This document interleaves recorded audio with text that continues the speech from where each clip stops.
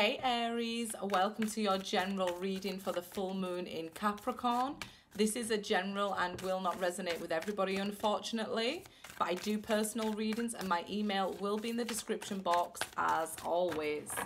So, what can we expect from the Capricorn full moon and the lunar eclipse here? So I'll be using the Akashic Tarot deck first, three of these, and then the Gilded Tarot deck Whoops. Five of keys, wishes fulfilled. I remember when um, Scorpio got this, I got my new car. I was absolutely loving it. Loving it. First card, always the most important card. And I'm telling you now, I wanted to do a video um, on when I got this Five of Keys card because um, I'm a Scorpio. I wanted to do a video on the wishes that I had fulfilled um, because and I think I ended up getting four new keys. So like to move house and two for my car. And it was just amazing. I was like, what's the fifth key? I really want to know. Um, because, you know, I, I just I was just so excited about this five of keys. So if this reading's going to resonate with you, you can guarantee that you're going to be getting really positive things coming in at this time. Wishes fulfilled. Look at the table. It's filled with all sorts of things you can imagine. Even the view here is like um, bountiful. So it's like there's shelves that are stocked to the roof. There's tables that are stocked. This is just like everything you could desire at this time is coming towards you. Opportunity to have wishes granted. So whatever it is you're wishing for, wow. You got it. Wish granted. The Queen of Scrolls. Wow, she's beautiful. I haven't seen her come out before. The Queen of Scrolls there. And I'm going to pull three of these cards, but I'm just going to read one. So I feel like, as I've never seen her before, I'll read the Queen of Scrolls for you guys. And the Queen of Forces. So the Queen of Forces here about, um, you know, really focus on what it is you desire because sometimes we can confuse um, the universe on what it is we want. If you know, like, oh, I want my ex. No, I don't want my ex. I want a new love. No, I don't want a new love. I don't need a man. Things like that confuse the universe. So I feel like you're a huge magnet at this time, day and night. Um, you know, find what it is you actually desire because it's coming to you. I'm not joking. I manifested this car in seven days. Um, so, and it was over £10,000. So, guys, go for it. I really mean this. These forces are now like within your grasp here. Use the moon, the energy of the moon. This is what this reading's for the Capricorn full moon, the lunar eclipse as well here. So, we had the solar eclipse and the new moon in, uh, sorry, yeah, the new moon in Cancer. It's the sun's in Cancer as well here. So things are like at a perfect balance here for an opportunity for your wishes to be granted, your desires to be met. So be very careful and clear on what it is you actually want here. Because I just feel like the force is with you.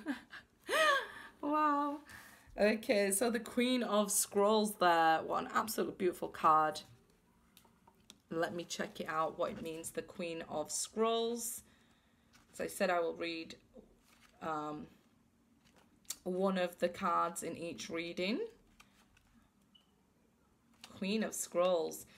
A beautiful woman holds a scroll as she stands in front of a sunlit archway. Around her swirls the energy of wisdom, knowledge, and the Akashic truth. When this card appears, she brings important information and inspiration to you. The Queen of Scrolls is a woman of higher mind whom you may already know or have or have yet to meet. Her purpose is to help you move through the entryway to a new level of wisdom and understanding. She could be a teacher to you in some way or offer a friendship that could develop into a deeper love. This woman could be helpful to you in some project requiring communication.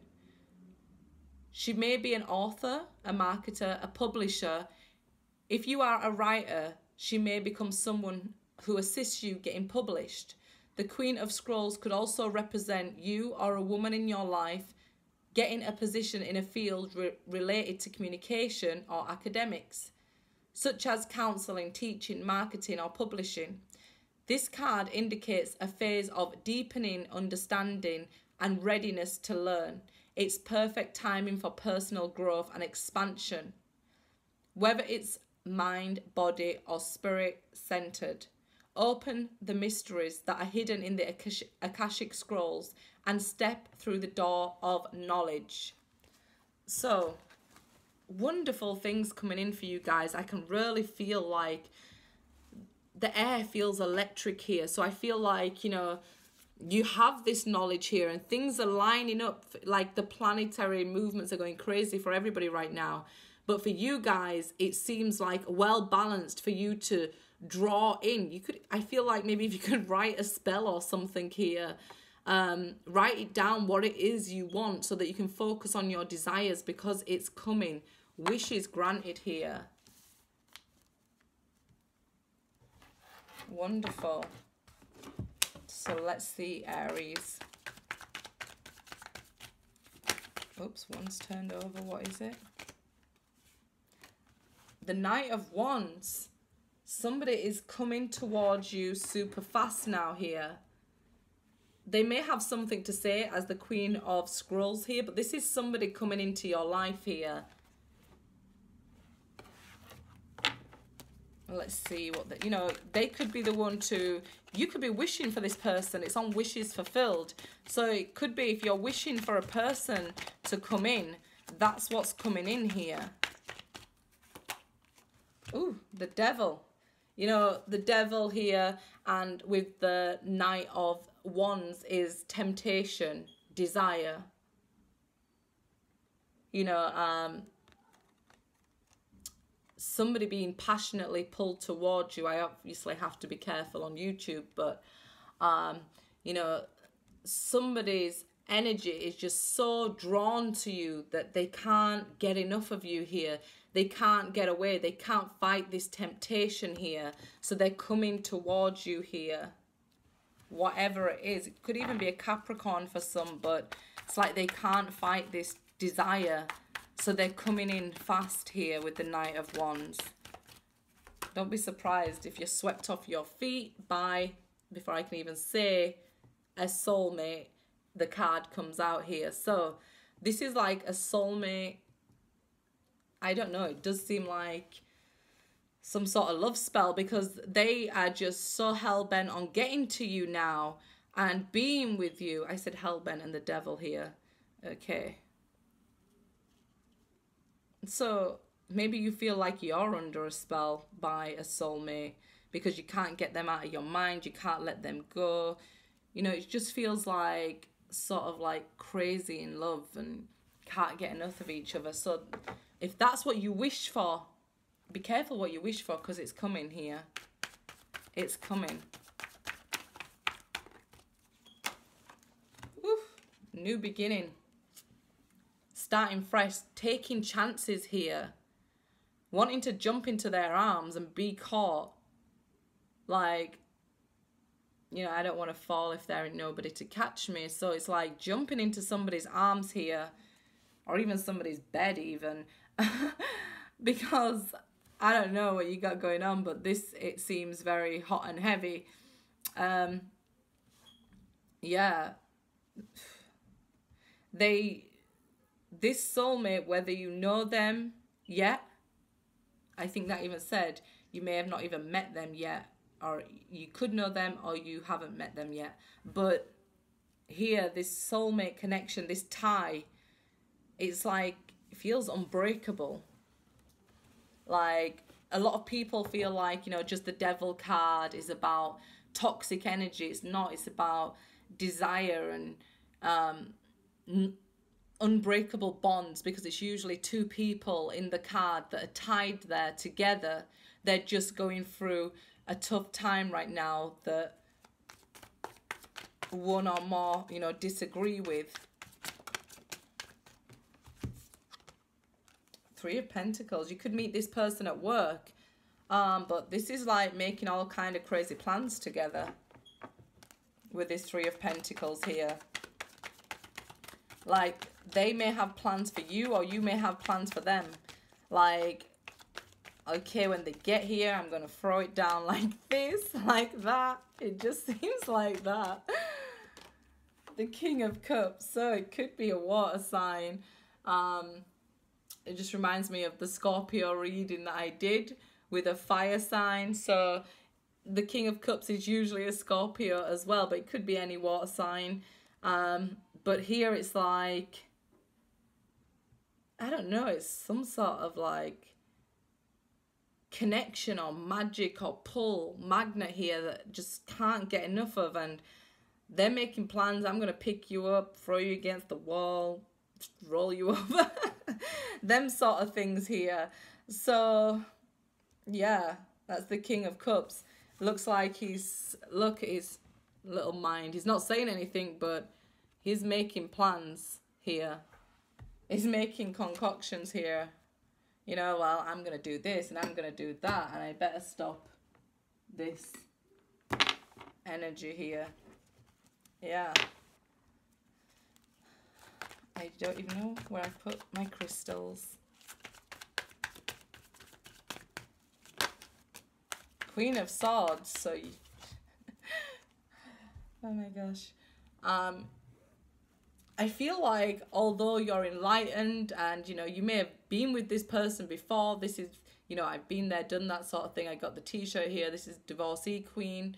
Um, I don't feel like you're being cold or something. I feel like it's a tantalizing game of playing hard to get. Like I'm not going to be easy, and I think they like that. That you know, it's not a, it's not being cold it's a difference like playing like you know you're also flirty but you know you can't have this yet. i don't know who this reading is for but thanks for making me embarrass myself on youtube you're awesome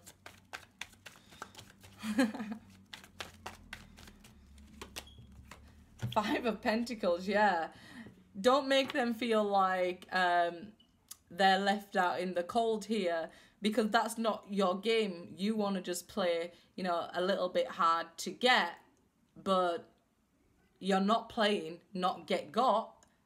You know, you just want them to work because you're worth it as the Queen of Swords and you know your worth and you know your self respect. So, you know, it's not playing, not get got. It's just like playing a little hard to get, you know they they might end up feeling a bit left out in the cold. So be careful because they're making plans um, on what they want to do. Okay.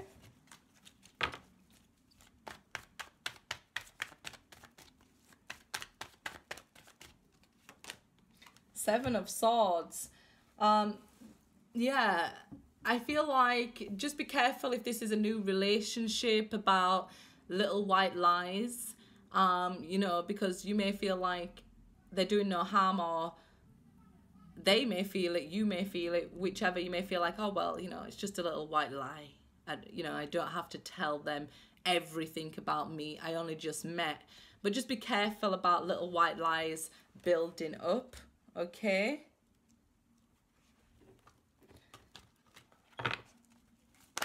Oops, okay. So somebody wants me to tell a story about um,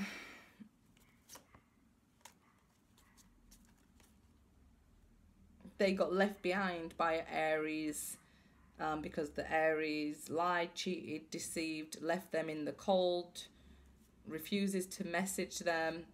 Um, they left them with the burden because they had another option. Okay. So I see you, cross watcher, watching for Aries who did this to them. But that's not everybody, okay? That's not, I mean, now's opportunity for you to get justice with the Queen of Forces. Let's just say she's another Queen of Swords here as well, but like a major arcana, and we have the Queen of Swords as well. Get justice, the Hermit here, you know, look within for answers.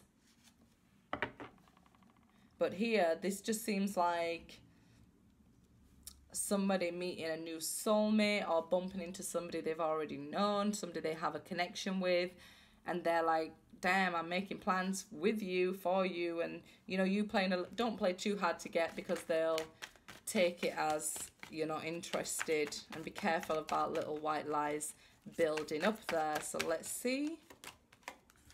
Nine of Wands, yeah.